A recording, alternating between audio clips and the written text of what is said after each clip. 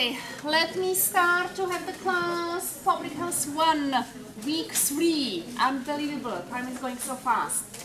Um, before we will start the class, um, I know that I received some emails, some questions uh, about the presentations. Uh, the week 5 actually will be the first uh, group 1 to 5 to have the presentations. So myself and uh, Jamie, teaching assistant, we are looking forward to listen to your presentations. It's always like the best part in the class to listen like you, your, you know, as a future public health professionals to express your thoughts and opinions and everything. So I know there were a few questions. So uh, first, um, remember in syllabus there is the rubric that you need to follow through the presentations. Uh, also be sure that you have 15 minutes. Uh, another thing is also is that you are the whole group. There are like 10 or 11 people working on the project. Um, and this is like, I would like that you have the experience of public health team. So inside the team, you decided uh, already probably, I hope, uh, who is like leader, uh, who is the manager, who will be responsible uh, for different portions in the presentation. Uh, you can have two managers, you can have two leaders, uh, organizers, whatever way you will decide. So this portion I will leave that on you because you need to develop a little bit of skills. I'm much more letting you know like please this is the due now to submit the table and let us know who is responsible for what.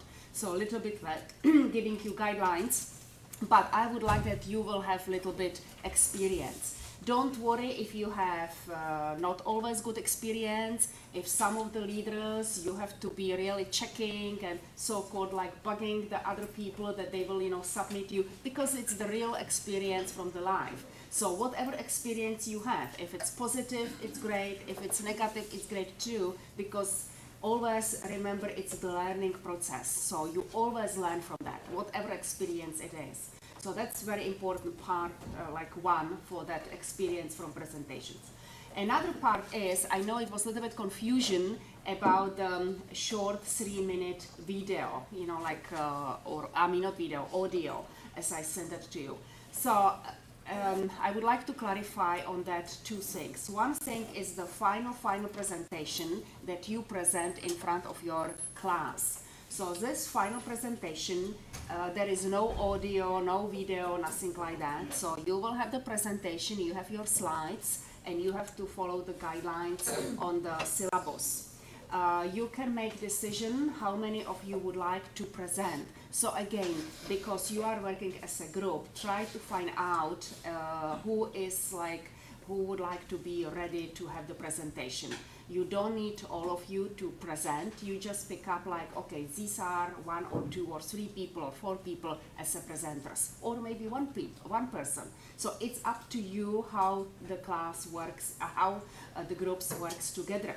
Be sure also that uh, sometimes um, it's tricky because the person thinks, okay, so I will do presentation. So the person think like, oh, I'm not doing anything. I'm just here and reading from the slides this is wrong, okay? You cannot do reading from the slides. You have to really know everything what's going on. It's actually quite a hard position to be presenter because you need to understand everything and uh, you know explaining that it quite like entertainment style and everything so there is no if you will be reading from the powerpoints the group will be receiving uh, minus points so it's not like standing here and reading on the slides you need to know what's there and you need to give examples and remember you are just using like 24 font um, the size uh, on the PowerPoints. So it cannot be all information here, it's just the basic.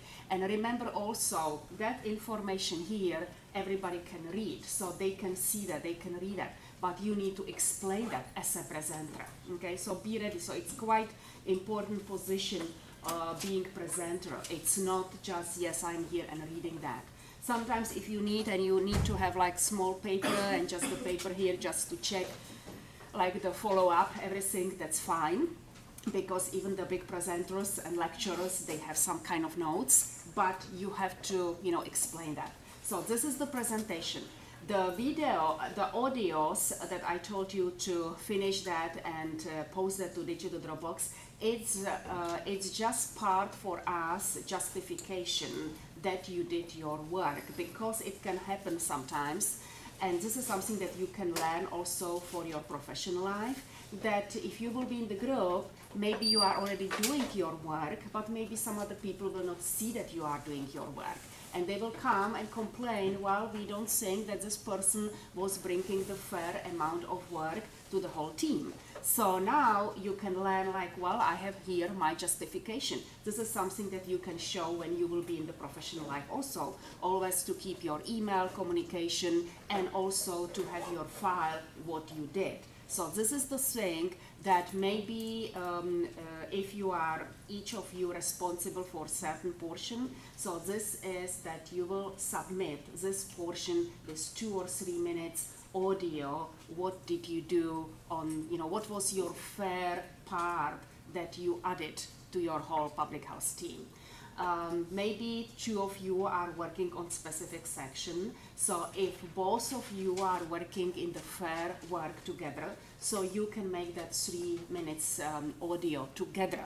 And then like yes we did this and we did the you know set, uh, fair amount of work and we did we did it together. So this is for me to have that there. I can check that but in case because i remember also in that syllabus um, in the rubric i'm asking you questions that you will do evaluation of uh, another group but you will do also evaluation how did you work inside the group so I can have like justification for that. So that's one reason. Another reason is that you will learn how to do audios because you will be doing that more and more and especially in additional public health classes you will be applying the audios because uh, in case you will be sending um, uh, the proposals or you would like to be uh, wanted to reach another human resources CEO, you already know how to prepare the audios because you will have that tools and everything. It's posted on the class website, so you know how to do that. So it's like um, you know, I'm using one thing and I'm, you are getting two things. One, justification and learning something like this for you for the future. Yes, this is the thing that I did. Plus learning how to do audios. Yeah, there were some questions in the back. So is the three minute audio individual? Yeah, uh, it is. Basically saying what you did. Yeah, so the audio, if for example you will be working on small portion, so that small portion you probably collected resources, you maybe develop uh, the PowerPoints for your small portion. So you will put that, uh, you can do PDF form, you can do PowerPoints. So it needs to be something that I will see what you did, plus explanation what you did. So it can be on individual level, or if there are two of you, and I think probably not more than two, you are on uh, some of the specific topic working also together. So you can do that together. That small, you know, justification. Yes, we were in the specific section on that. I did this portion, I did this portion, but this was the one component of the whole presentation. So you can do it also together. But I think it's quite, uh, there will be noted that maybe three of you will be working on one uh, subsection. I think mostly I recommend just one or two of you will be working on small subsections under the whole presentation. Okay? Is it explaining enough? Is it now? I know it was a little bit confusion about it, so now it's everything clear with that. I know I received like email. Well, if everybody uh, needs to do the audios, then if we calculate that, it will be so much more minutes. So you know, more than 15 minutes. So I was like, well, no, it's not the part of the presentation of the final presentation. This is something that you will be uploading, and you are receiving, I believe, like three or four points uh, on individual level that you submitted that. And it's again, in case there will be some kind of dispute or something like that, yes, here is the information what the person did. And this is something that you can learn, again, as I mentioned, for your professional life, so that you know, like, well, this is something that I will have that in case I will show that. Yeah. So when is the audio actually due? So it's also, if it's group one to five, so for the group one to five, you have the same like uh, week fifth. So for you, uh, the due is the before you have the presentation. Okay. So that's for group one to five. Group six uh, to ten, again before your final presentation, it's the same. You have to submit that. Okay. clear everything? And you have tools about how to do the, um, you know, the audios. And this will be, I think it can be quite exciting because it will be the first time. It doesn't need to be in professional way, just learning the process. And when you will be going through many of my different public health classes, you will be doing and repeating the same. So it's almost guaranteed when you will receive your bachelor degree, you will be so excited to have presentations, you will love to have presentations, you will be asking like, oh, you will go to professional life and you will be asking like, oh, I would like to have presentations, and you will be completely confident um, you know, if the CEO of other company um, uh, will refuse and tell you like, oh, we don't have time to listen to your presentations, we don't have time of 15 minutes, we will, you will, you know, respond to them. Well, it doesn't matter. I have, you know, five minutes audio, and I will send it to you, and that will be professionally done. So you will be prepared. You will be prepared for the life, you know, professional life outside. Okay, and you will be confident, and you will be doing that with enthusiasm. I hope so. Okay. Clear everything? No confusion? Are you looking forward for that? I think, yeah, why not? Okay, so if no more questions, so now let's start and continue with epidemiological studies. Uh, remember, I finished on that level, so we talk about intervention study, cohort study, and case control study. And um, I started a little bit to, to talk um, about uh, intervention studies, so now we will go a little bit more into detail. So when you are preparing, so these three uh, studies are the basic studies in epidemiology. You will learn the calculations and everything when you really will take the classes in epidemiology. This in Public Health 1, Introduction of Public Health, I would like just to share that information with you with importance and with differences in each of the study. So if you look on the intervention study, you have actually two groups that they are very close together and the intervention is the difference. Uh, sometimes the same group can be on its own control group and it's uh, only in case that you will do the baseline you will collect the data in the beginning uh, maybe four weeks or eight weeks and then you will do intervention intervention what is the meaning on intervention it means that you will you will learn through uh, research studies that if you will be doing the specific public health education to the group they can improve uh, any kind of the health outcome. So this is like public health intervention. So you are like intervening. So this slide is showing different examples of intervention studies. Uh, of course, you would like also to do randomized study, double-blind study, because uh, later when we will be talking about the validity, so it means that um, this is um, these are the studies that showing we yes this is the high validity of the study of the process. So if there will be some questions on the midterm, what are the examples on intervention study? So, so what are the studies that they were using the intervention uh, so they are the examples of intervention studies.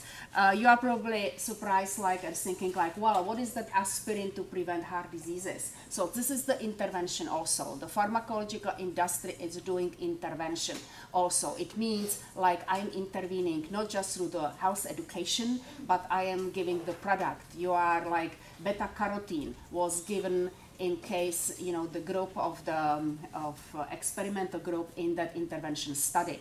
So intervention, it means you are doing something, you are adding something that the other group doesn't have, or the same group didn't have that in the beginning, but now it's changed and they are, um, you know, following your recommendation. Uh, I wanted to share with you the headache intervention study and how I came for that intervention study. Uh, before uh, uh, when you will make decision, yes, I would like to do intervention, it's very important that you find the research uh, and going back. You uh, find out what is the topic that you would like to use for the intervention. Is it health behavioral modification? Is it dietary supplement? Are you using uh, antioxidants? Uh, are you recommending uh, eat low dietary fat intake? So some specific intervention before you will go and making decisions about that, you also need to find out what is the problem is the house. So this is like uh, when I was doing the research and problems about the headaches. So uh, just if you look on that slide, so back 1988, that started to be classification on international level about different type of headaches.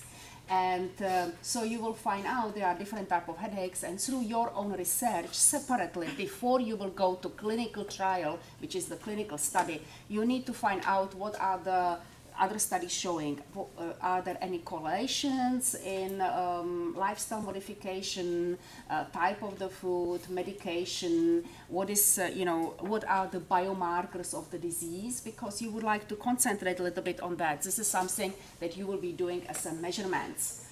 So then, of course, when I did the research on the headaches, um, I have to find out what type of headache I will be concentrating. Is it the regular headaches, there are migraine headaches, cluster type of headaches, tension type of headaches, and because you would like to have these uh, participants in the study, you need also to ask them questions. You need to prepare a survey. So you need to ask them questions, what type of symptoms they have, and making the classification, well, this goes to the migraine headache, tension type of headache, or cluster type of headache. So they were the classification or they were the problems uh, with migraine headaches because if um, if the participants they would like to be in the study or you randomly uh, were able to get these participants and they are not going um, you know through these criteria then could be some variations and it will not uh, completely fit also to your study. So you need to be sure and classify the disease. So this was the tension type of headache. So you can see there are a little bit differences um, with the problems and with the pain. And they were also about the cluster type of the headaches. Then another thing is when, why I decided for the headache, and many times you decide for different type of diseases. You can decide also for diabetes or some symptoms from diabetes based on you know great presentation that you have last week. So uh, if you check some studies, you will find out, wow, this is amazing. So much money are spent, you know, just uh, for the public, for the population to deal with the headaches. So we should really do something about that. You are public health providers. Uh, if you look on that, how many working days uh, people are missing because of the headaches. And you probably can associate yourself with that. How can you study if you have a headache? It's hard. You cannot remember, you cannot study, so you would like to do something that you don't have the headaches. So imagine now that you have some people, some participants in the study and just public, that they have headaches on everyday basis, constantly. So this is really very big problem and annoying pain that they would like, you know, to minimize that.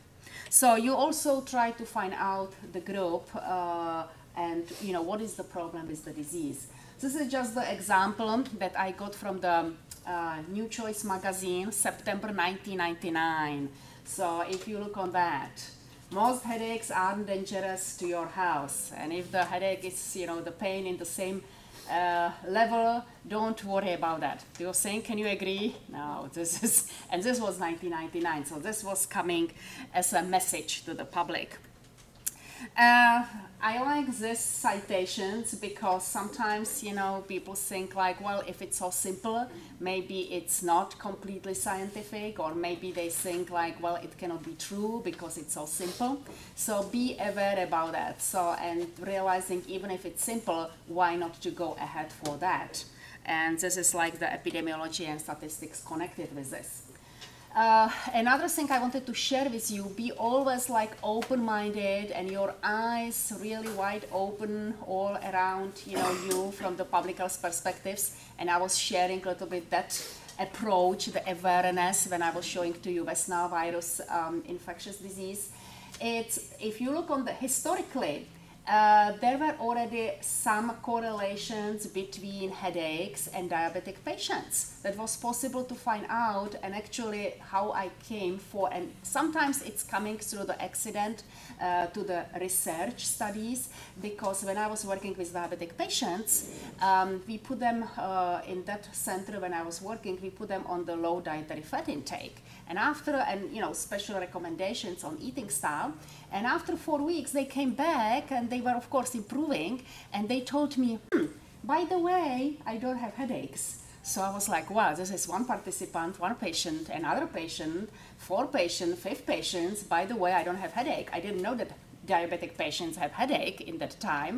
So I put attention to that and I just realized and I was going through the research and I found out that also it's correlated, you know, problems with higher uh, dietary fat intake or high level of the cholesterol in the blood. It's correlated partially with diabetes, but also it's connected um, with uh, headaches. So then I was going more and more to the research, and if you look, back 1969 was uh, 1969 was showing the research that yes, high level of the free fatty acids was correlated, um, you know, with the headaches, and some if if they use the medication, the, um, the level of the free fatty acids was possible to decrease and was also decrease the problem with the headache. So this is the research. So it's actually like great. It's like detective work. You know, you find something and you think like, wow, what is the background of the other things? So you start to go through different resources. So it's really,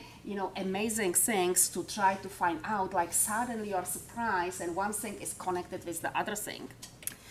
So then I came to the project to do uh, this intervention study. So again, what I mentioned before, you have to get uh, the clients or the participants uh, in the study that they have similar problems with the headaches. So the study will, and you have to do design of that. You need to, through the literature, find out, well, some kind of predictions also and see on other uh, literature when can be some kind of changes so usually what you were able, what I was able to see with the diabetic patients after four weeks. So just to be sure, so it was extended like for eight weeks if there will be any changes.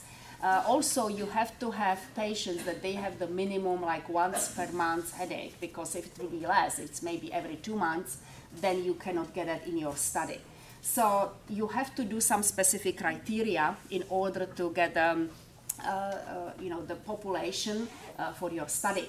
So then you need to collect the data. You have to have questionnaires, you have to do additional objective measurements. Remember this is very important. Even if you do whatever level of the behavioral study, if you have and you are providing intervention study, clinical trial, it's good to have some objective measurements. What objective measurements could be? maybe uh, blood pressure, maybe percentage of body fat that it's very easy to measure, or also uh, the blood test. What is the level of total cholesterol or LDL? Something what is very easy to get. So you have to have like support for your um, study.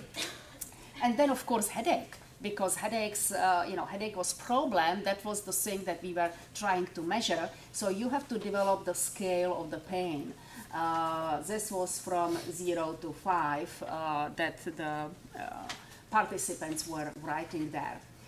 When you measure the dietary fat intake, you can have uh, different um, software and measurements. Uh, participants were keeping the uh, journal, what they were consuming, and it was surprising. Sometimes they, I went through like 10 days and there was no one single intake of water.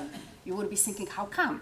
Well, people were thinking, well, if I'm drinking soda drinks, this is the liquid, I'm okay, but no water, no single water. Uh, so also uh, you do the measurements of uh, what was because you I concentrated on dietary fat intake. So I may measure what was during the baseline or what was the control group and what are the changes what is the differences after your intervention. So you can see there were big changes in consumption of dietary fat intake. It was coming from 122 to the lowest it was like 72 grams. So so you can see also based on that there were some differences. There was some kind of measurable outcome with that specific uh, population. So because i gave them intervention to decrease the dietary fat intake. And because they decreased the dietary fat intake they started to consume more fruits and vegetables. And because of that they started to do more physical activity so there are like additional variables so-called in uh, epidemiological uh, terminology that you can find uh, there. But the intervention was low dietary fat intake. So if you look on that, there were the dietary changes, so they were really able to decrease that. The study was done for three months, and there were additional changes uh, with vitamins and minerals that they were um, you know consuming So what happened also, these are the, the additional uh, results from the study and many times it happens something like that. You do intervention, you intervene with one topic. So the topic was low dietary fat intake in that time. I didn't make um, differences if it's omega-3 fatty acids or saturated fat, just general dietary fat intake. It would be better, remember this was the study done back 1999, so it would be better now, yes, do low level of saturated fat and maybe having, you know, more omega-3 fatty acids, but in that time was just saturated, uh, just fat on its own. But you can see they also increase intake of water. So from this, if you have one intervention study, you can find out, well, now I can do another study and maybe with the uh, intake of the water. So it's really beautiful detective work. It's like exciting. I know you are sitting now in the classroom and you are already listening that the study was done, but if you are inside the study, it's exciting because you always like, wow, this is coming out. Can I use that? Intake of water. Is any study done about that? Uh, correlations between headache patients and water. Nobody did that. Oh, this is another way that I can start, you know, study and I can do intervention in that way. So it's it's amazing, you know, exciting things that if you are inside the study. Also, as you notice, was a decreased intake of coffee. Some people could, uh, you know, just argue, well, of course, because you decrease the, you know, intake of coffee, therefore the headaches were uh, decreased. But actually, justification for that is if they started to decrease the coffee, they could be in withdrawal symptoms. They could have withdrawal symptoms, so it means they could have more headaches. So it's justification if they didn't have more headaches that really the dietary fat intake was working in the proper way. So there are many of that associations and many different things that you have to find out the justification because even this if you find out these results, how you will justify that, how you will explain the pathophysiology and physiology and chemistry and biochemistry inside the body. How come uh, this came out? Are there any correlations with the headaches? And of course, with, uh, for example, with vitamin B6, we found out they are the precursors for uh, forming the neurotransmitter serotonin. So if the serotonin is low, there is the problem with headaches. And then any uh, behavioral modification in order to have additional like uh, support of your intervention if it's connected with behavioral modification not always you can do double blind study as pharmaceutical industry does. So in case pharmaceutical industry does intervention study so it means they are giving the medication uh, so that's intervention. They can do double blind. Nobody knows uh, what the participant is receiving. Is it really the medication, or it's just uh, the, or is it the placebo uh, tablet, or it's nothing there. They are just swallowing something and thinking that's the medication. So nobody knows, even the uh, maybe one person in the whole study, but nobody, even if they are intervening and communicating with the participants, they don't know who is receiving what with behavioral modification, it's hard because you would like, it actually depends how you will explain that, how you will be doing the persuasion and talking with the participants. So it's very hard. You cannot do double blind study. So it's good to have objective justification. So therefore it was the blood test and you can see that was um, in the in the quite strong and in positive uh, correlation that uh, yes it is true it's not just making mark on the survey yes i was eating less of the dietary fat because you know that could be some biases. We will talk about that later. So it was really possible to see if the blood tests were showing low level of cholesterol so the person was really eating less amount of dietary fat intake.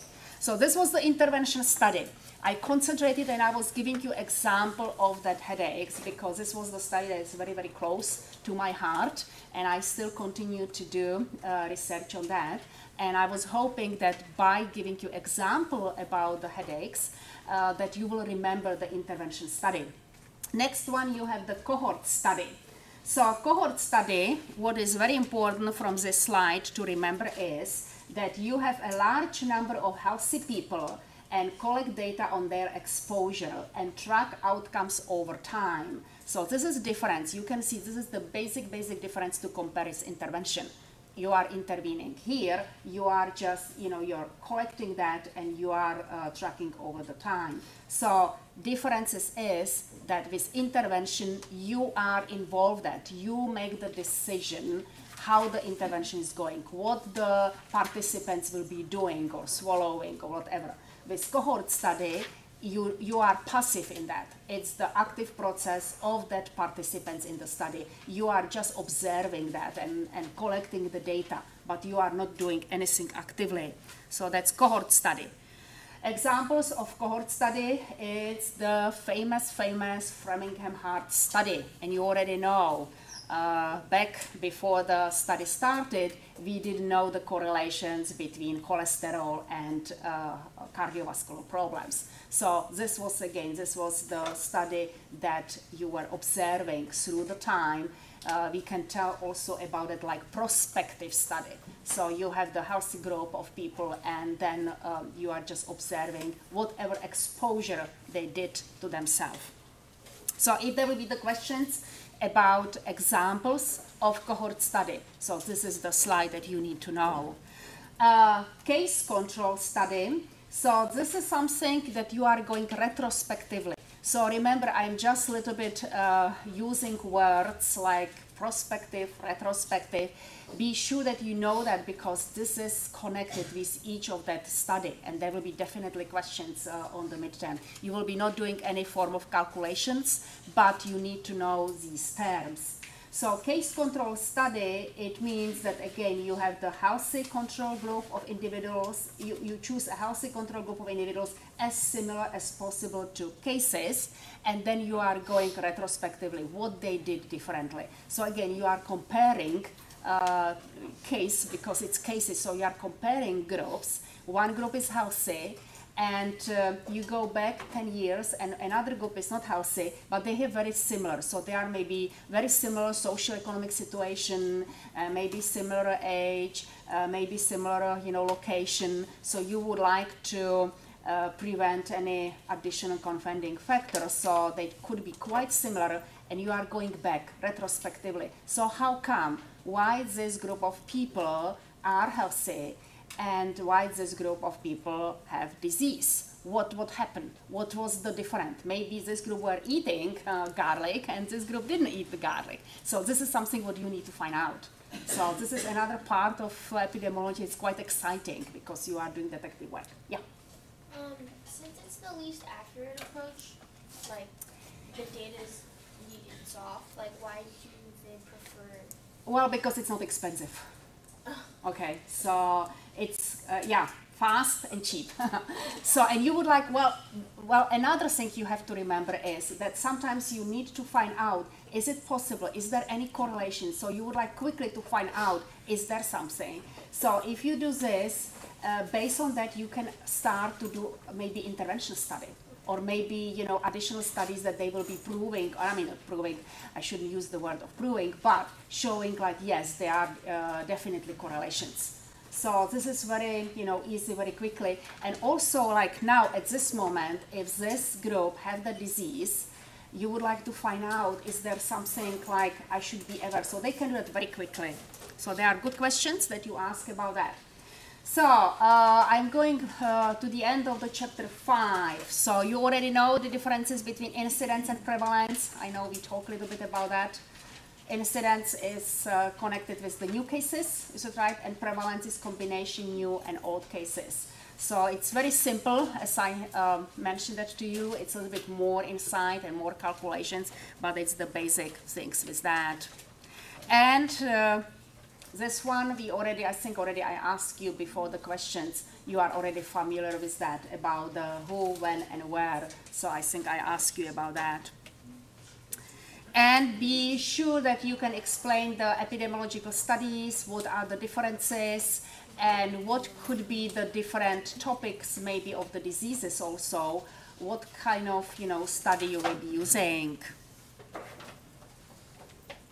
You already saw the um, uh, video clip on the epidemiology, so now I'm moving uh, to chapter 6 to share with you problems and limits. We have uh, problems and limits uh, in, in, epidemiology.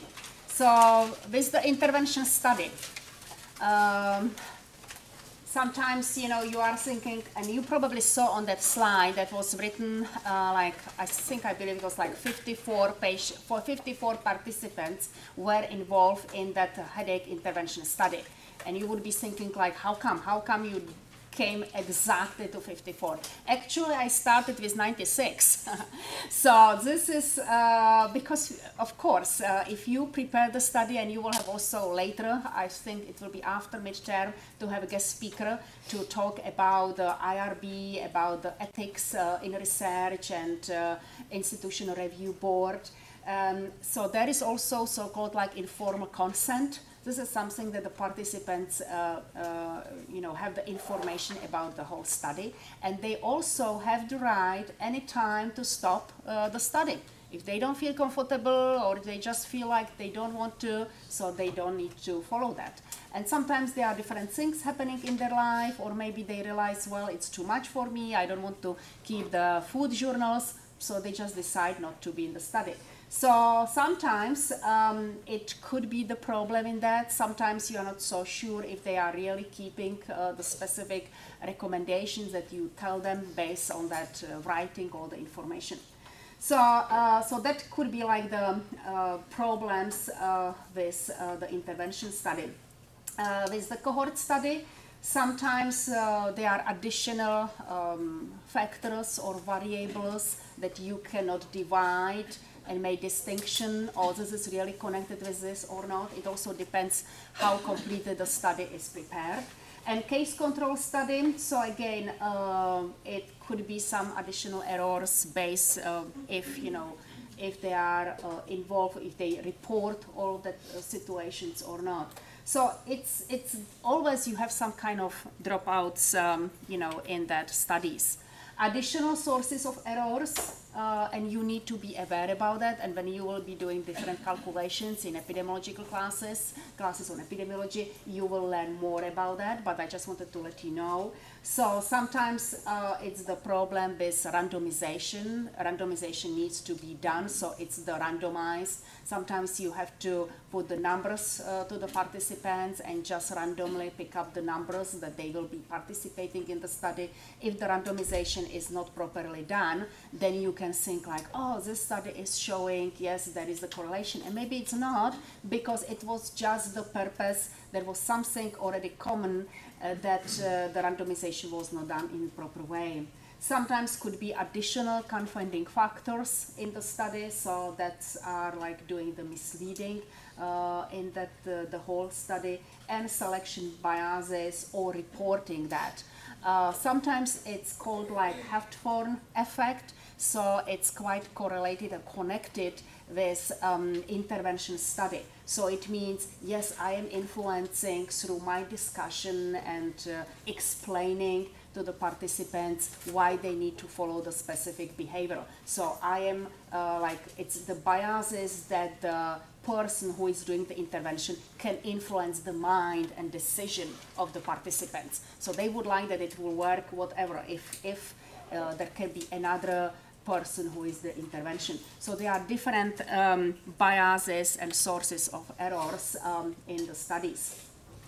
You would like to be sure that the study is really strong to have a good uh, number of the participants. You need, therefore, when I explain to you about the headaches and about the you know research that was done in the past, you would like to know the biological explanation. If you will start to do some kind of study and you have no clue or thinking like what could be maybe correlated or maybe it's not really based on some kind of biological explanation, you can get some study without, um, you know, no results or it's um, uh, confusing.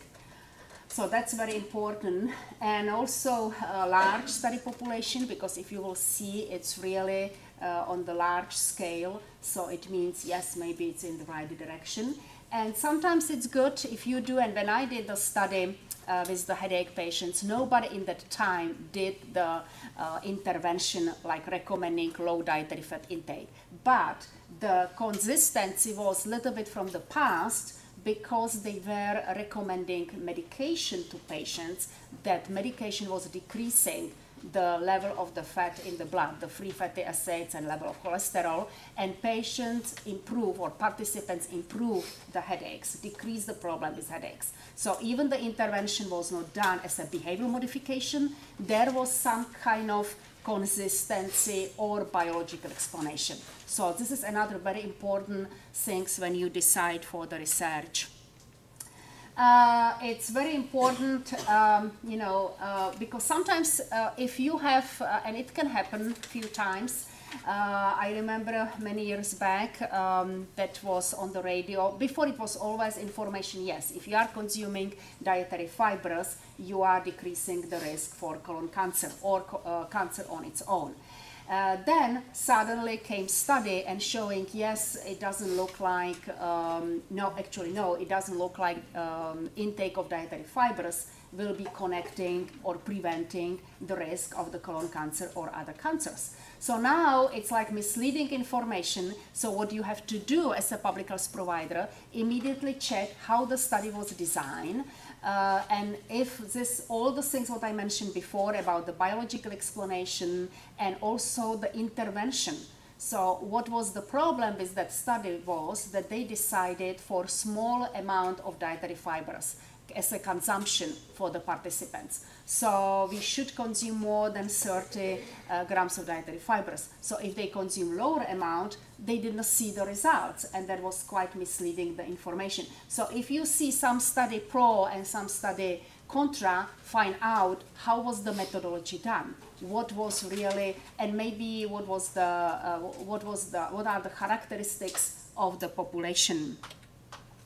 Ethical issues, um, you will have that, uh, uh, uh, you will get guest speaker about that, so that will be more explanation about that, based on uh, many of that um, involvement of not proper approach about the research, not about the uh, informed consent uh, for participants and doing some research that public was not informed of what's going on or sometimes you know it was uh, not given uh, medication and uh, so that was knowing that if the medication will be not given there will be um, progression of the disease that was not based on the proper level of the ethics. So uh, therefore, uh, all uh, organizations and universities, they have the institutional review board that every research, even if you are preparing for the URAP, so every research have to go through this um, uh, specific review to check that you are following the proper level of uh,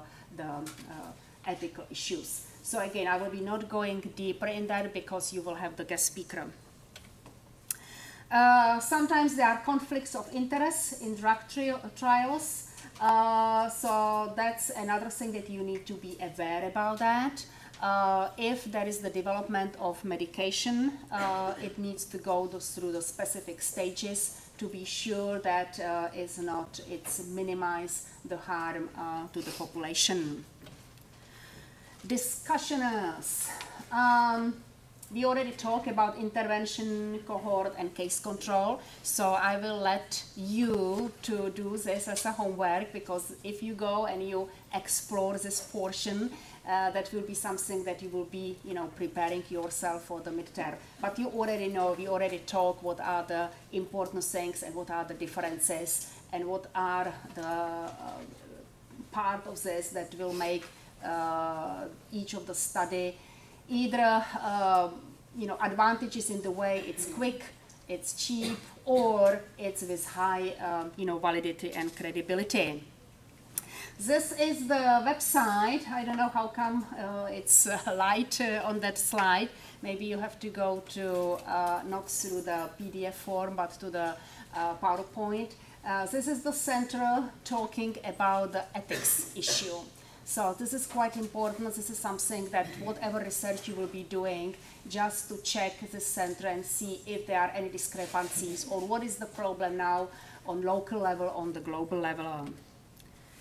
Uh, now I would like to share with you specificity and sensitivity. So this is closing a little bit part about the epidemiology.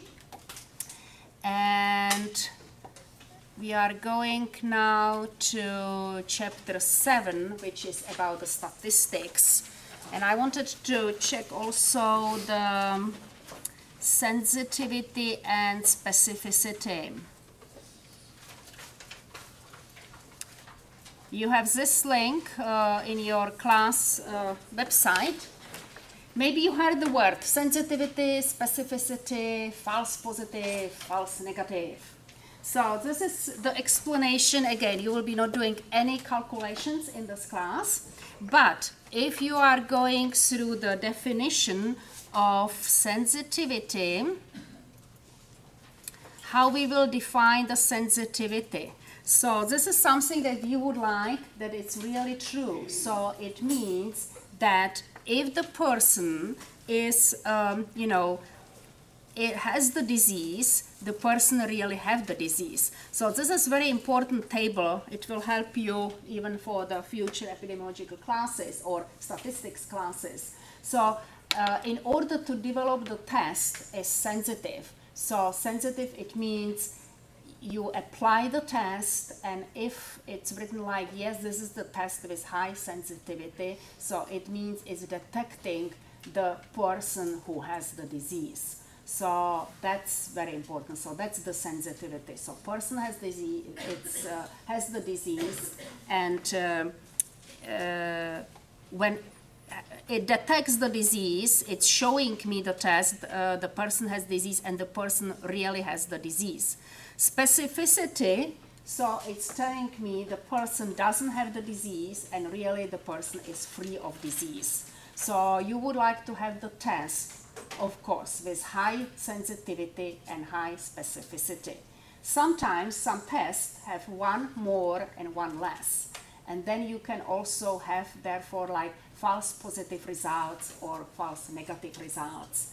If you think about that, uh, you would like, of course, minimize the errors as much as possible because, yes, here is, I would like to go through the definitions and then I will show you the examples. The false positive is when test reports a positive results for a person who is disease free. So what do you think? Is it important in public health? Okay, what can happen? uh, before, therefore sometimes we have to do another test, you know, just to support the diagnosis because if it's uh, false positive, so it's probably high level of stress. The, uh, it's showing like, yes, you are positive for this disease and actually the person is disease free. So of course, at the end, it's great uh, news, but during the process, before coming to the news, could be really very high level of the stress that can maybe happen some situations that you don't want from public health perspectives because uh, it depends also on the type of the disease the person received the information. So that's false positive. So then what do you think about false negative? Would you like to have also false negative? So it means false negative occurs when the test reports a negative results for a person who actually has the disease. You don't want to have either, do you? No, because what can happen? It's, it's that in that situation, if person receives this information, so maybe for the next testing, person will go after one year or maybe two years. And then during the time, it's maybe progression of the disease already. So either way, you would like to minimize that. So therefore, it's very important to find the biomarkers on the disease and based on that to develop the, the best you know, tools for minimizing uh, the, the, the outcome that we don't want is associated. So now you have a little bit information about uh, sensitivity and uh, specificity. So here we are coming to the statistics. Remember we talk about the different disciplines in public health. So we finish part of the epidemiology. I know it's not just for one or two uh, lectures, it, it's more, but it's just giving you a little bit idea what you can expect in epidemiology. So statistics. Uh, this was like introduction to you a little bit how important are you know the numbers uh, in the public health field. We need to have the numbers and uh, it's not um, moving. Okay, uh, because uh, the numbers, if you generally think about public health field, uh, and you are, you know, collecting. Remember, we talk about local level, what uh, the public health department is doing on the local level, collecting the data, collecting the numbers, and based on that uh, is uh, it, it is evaluated and making some specific measurements. So we need to have that statistics because uh, how come uh, we will find out that maybe uh, in specific location it shows that uh, there is um, people, th there is the higher number uh, statistical numbers occurring higher with the, uh, I mean, occurring with the breast cancer, and in other location not. So you would like find out why is that. So you will do research in that direction, or you think like, okay, this is the problem, and I have to develop public health program and to decrease the problem. So we really need to have numbers on its own. Um, if we talk about statistics, so uh, also the numbers, partially the numbers are telling me uh, what is the repetition, how can I um, also assume or predict occurrence of some kind of problems. But uh, should I use statistics like that? For example, if I will have, there will be the patient, the patient is going to the physician office, and the physician will tell the patient, well, based on the statistics, uh, your results with your cancer, um, you have just five months to, to live. You will die after five months based on the statistics. Is it good to tell information like that to the patient? This is, this is, this is not, I will be not using the statistics in the proper way, okay?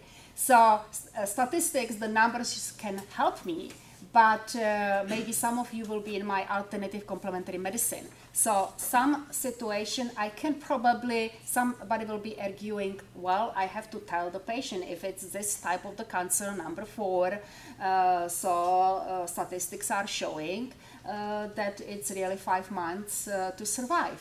But we have to tell that in the proper way. It's the statistics showing that, but it doesn't always mean that the statistics it, it's it's connected on completely on individual level because you will learn from alternative complementary medicine that maybe there are they call it like anecdotal stories so it means that the person is changing probably lifestyle changing different things and maybe it's possible to you know, extend the time or reverse the process. So we cannot tell to the patients in this way. We can tell maybe if we would like to share that information, we can tell like based on this um, uh, type of the uh, diagnosis the person has. Um, many of that research literature is showing this, but it doesn't mean that can be correlated or connected with you. So that can be some, because this is like the open window. There is some kind of window that you need to keep that, and it's actually there uh, in the science of statistics. So probability, it's telling me that the probable things will probably, usually happens uh, when you are preparing the study and the epidemiological studies, uh, do you remember we talk about how many people you will have in the study? So you also calculate the power of a study. So if you have, uh, it depends how uh, you calculate that, how many uh, participants will be in the study. If you have um, higher power uh, in that study, it means, yes, this, I mean, larger number confer the, the power if, uh, if this is in the proper way, it means it's stronger study.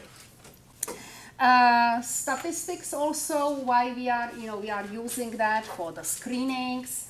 Uh, here we talk about sensitivity, specificity. Uh, it's very important because if we do these different tests for HIV, for the newborn screening, uh, or if somebody is coming for the mammogram, we really need to be sure that the tests work in the way as uh, should be working. So I wanted to share with you uh, on this slide uh, some examples, uh, not completely from the medical field, but just example about sensitivity, specificity, false positive, false negative. So what is this? And maybe you will, because it's like entertainment, so you will remember that. So, in the arena of spouse relations, a wife notices lipstick on husband's uh, shirt. So, what is that lipstick? Ah, positive test for what? Infidelity, probably. Okay. And worries about, yeah, infidelity. But she later verifies that her husband actually met with Aunt Jane at the lunch break, and um, old Aunt Jane missed her husband's neck um, with lipstick kiss and hit his, um, you know, shirt. So what is that? False positive finding, which was positive for female kiss, but negative for infidelity. So, what do you think about that? Yeah? Funny? I think so. So here is the example about false positive, you know, and false negative. So we have to actually be always sure, like, yes, this is the test. Therefore, sometimes you have more tests, or sometimes what the goal is to develop the tests that they will be, um, you know, this minimal level of false positive or false negative. Rates uh, in the statistics, they are also very important. Um, mostly I will talk about the crude rates and adjusted rates. So if I will ask you uh, or you will make decision, should I go to live to Alaska or should I go to live to Florida? And some, you know, people are thinking about the different um, areas and locations and they just check, well, we will check what is the mortality rate. And they will find out that, yes, in Florida is very high mortality rate and less mortality rate in uh, Alaska. So they would be thinking, oh, I should be probably going and to live in Alaska. So do you think they can make decision like that? No? Okay, why not? Here you are, okay? because if they made the decision, it was on the crude rate. Okay, so you have the crude rate that you are, if the numbers, of course, based on the crude rate, it's telling me, yes, high, you know, um, uh, mortality rate is in Florida to compare with Alaska. But we know because based on the environment and based on the um, how you know the the movement, mostly the older population is moving to Florida. So of course, because it's a higher population, is older population. So the adjustment based on the age group, um, if this is done, then you will see that almost there are not big differences uh, between Florida and Alaska. So you can make decisions or something else, but not about the mortality. So be aware also about this one. So if there, you need to know from statistical perspectives, if this is influenced some, some, by something else, you have to do the specific adjustment. Uh, life expectancies. So this is, and again, sometimes, therefore I'm trying to show you like how statistics uh, are important in public health field. If you look on that table, uh, what you can see here is the life expect oh sorry life expectancies at birth so if you look on that it's back 1980 and 1999 differences between uh, males and females and also among the other countries what you could assume is or predict Yes, because it's um, you know better public health infrastructure in the countries. Uh, it's uh, the improvement in technology. So and we always probably you hear about life expectancy is increasing. So do you and it look usually looks like the trend in that direction. If you look on that map, on the table, do you see something that is probably not going in that direction or something like suddenly being puzzled that something looks different as it should be looking? It's a little bit lower, so I don't know if, yeah. Well, I mean, Puerto Rico decreased um, the males like in 1980 to 1999. Okay. Oh, you mean like uh, Puerto Rico? Yeah. Uh, I mean, not yeah. Okay. So this little bit decrease. Yeah. Do you need? Do you see something uh, more? No. Why is it, um, why is Chile and Cuba missing? Uh, it's possible that maybe they didn't do, you know, they didn't have uh, that data, so that we didn't have the data. Uh, but I would like that you look, it's actually now, I don't know why it's that black uh, sign here, but it's connected if you look on the Russian Federation. Yeah. I'm doing coloring here, not knowing why. yeah, now disappeared. Okay, so Russian Federation, what do you think about that? Yeah, okay. So what do you think? So if you see that and you are public health provider, maybe statistician, maybe public health educator, wow, yeah. Oh, do we have to say like why we think that happened? Yeah, whatever, whatever, uh, any comments about that? What do you think? in- Um, in between nineteen eighty and nineteen ninety-nine, the Soviet Union broke up, so that's probably why. Okay, so there was political reason, probably, yeah. Um, why do females have a higher numbers than males? Uh, female has a higher Um, life expectancy and Yeah, so this is also a good, uh, good comment about that because uh, it's still through the studies, it's showing that they have less occurrence of cardiovascular disease. It's just uh, at this moment uh, because they also were engaged in less of uh, tobacco smoking and some kind of activities that the male are doing. Actually, statistics are showing that maybe in another 10, 20 years, it will be getting quite close. Um, there will be not big differences with the male and female. And they are thinking because um, there is high level of stress for the women because women in, men, I mean, in some of the countries, uh, they were not in the working process. Now, if you think about high level of stress, they are getting the high positions in the jobs and plus taking care of the family and all the things. So it's about the lifestyle and how much, you know, it's uh, exposure to the stress, exposure to the negative things, and exposure being in some kind of activities that the male did.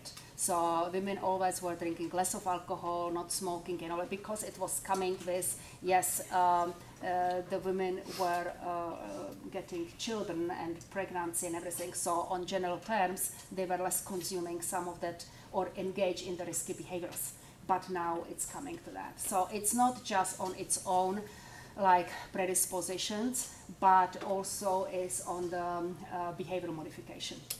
So that's, uh, that's uh, correlated in that. So there are some predictions that will be quite close in the future.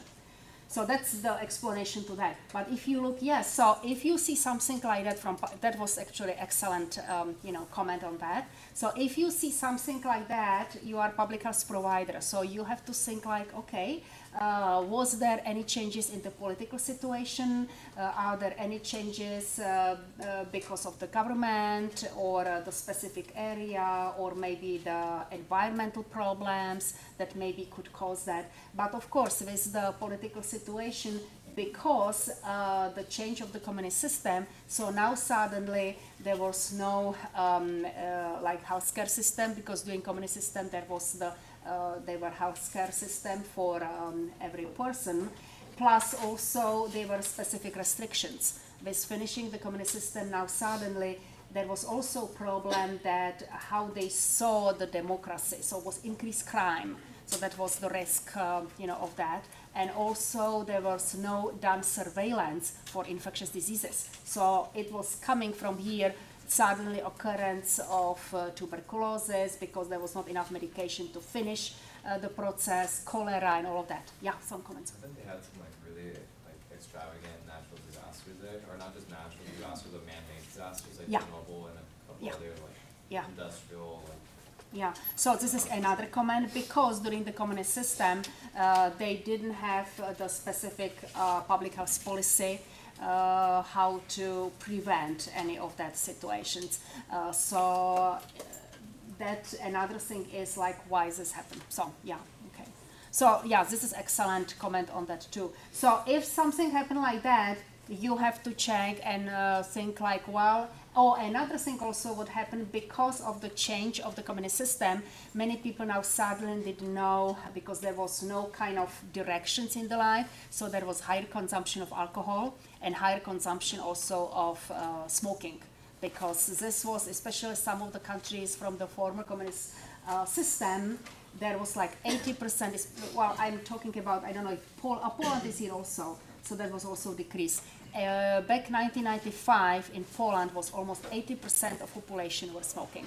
And it was, and started more occurrence of smoking among women. So it was now suddenly higher risk of occurrence of the lung cancer and additional diseases. Something similar what is happening now a little bit with uh, improving the um, uh, economic situation in India, so it's higher occurrence of smoking, and smoking is correlated also with occurrence of diabetes. So if you look on some of that, you have to check all of that behavioral modification, natural disasters, any situation like that, and think like what can be done about that. Okay, life expectancies, risk perception, risk assessment. Uh, so this is also when you will be doing public health communication. This is another thing that you are using the statistics to find out uh, when there is whatever situations are happening, how you will be doing the behavioral modification. So this is just the example on different type of uh, activities uh, connected uh, with different group of public, how they perceive the um, you know risk situation. So this is another thing that we are using that for behavioral modification. And this is different form. The other one was stable, and this is uh, like in the graph. Uh, when we talk about uh, calculation of the benefits that can be done through public health education, it's not always very easy to calculate the benefits. So therefore, many times, you know, it's challenging from public health perspectives because you think like, well, if we will do, you know, preventative measures and uh, healthcare uh, insurance uh, or health insurances will be supporting the preventative measures, they will save money in the future. But it's still that point to calculate immediately. It's not possible to see that. Uh, it's it's quite hard immediately everything to calculate. So uh, it's not seen that what can happen in the future. So that sometimes the the benefits, uh, the calculations could be harder. Uh, so what do you think? Why statistics? Why is statistics so important for public health?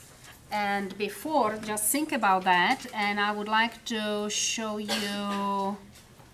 Um, think I have the video clip here. I'm going to start off. Think about that and I will ask you. uh.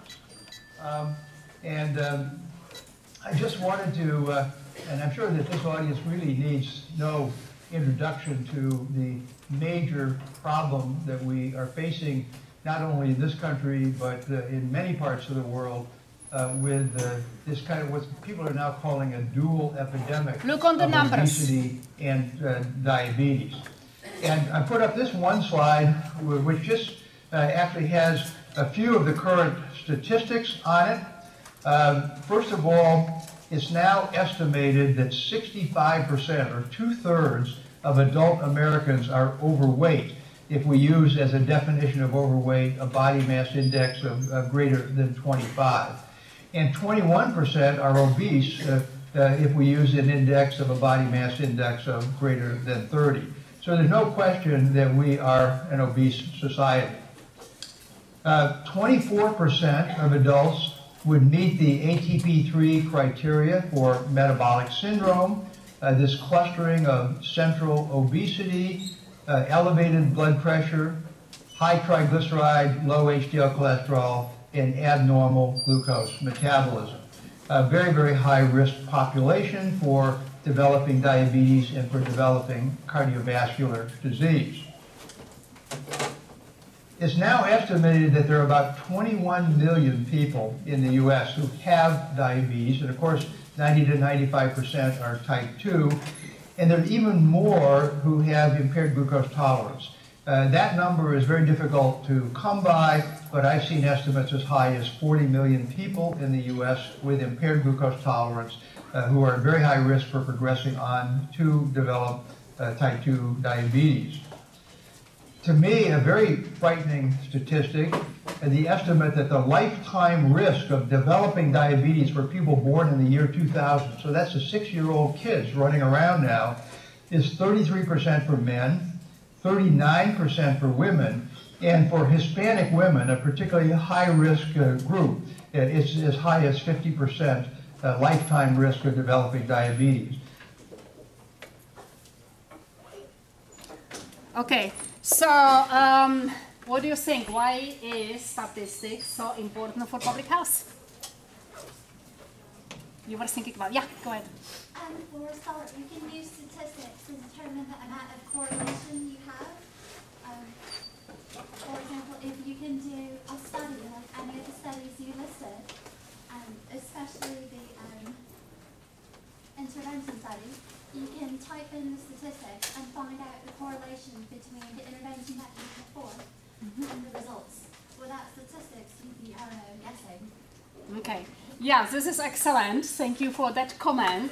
Yes, so this is, you will learn also in public health that whatever intervention or whatever program you are implementing and applying, you have to do also evaluation to see the numbers, if the numbers change. Because if you cannot, you have to show on something that uh, yes, there are the numbers because if you look on that and you remember the presentation that you have last, I mean about the diabetes, the numbers. If you saw the numbers, you can a little bit like see, well, this is, if I will be telling you like, well, it's really the problem and so many people, and I will be not using exactly the numbers, it's still not completely like you don't have uh, the picture of that situation. And uh, so it's very important the numbers um, in the public health because you will see do I need to do something about that or not. So therefore, um, statistic, oh, statistic is very um, important uh, in public health field. Um, you already saw that links. Uh, there are additional links also on your class website uh, about statistics. So it's showing you also the CDC so that you can get all different statistics about um, uh, mortality, about uh, infant mortality, uh, because this is also one of indicator to tell me about the nation, how uh, the nation is healthy what is the level of that mortality for the infants. And I can see that statistics are showing me, I'm just joking about that, that you are ready for that five minutes that you have uh, from this class to do something for your health. I can see that everybody is ready to do something for your health. Is that correct? Yeah. So I will let you go under one condition. Laughing, smile, smile on your face. You cannot leave this classroom without a smile. Do nice breathing of fresh air and singing fruits, vegetable grains and beans for your lunch.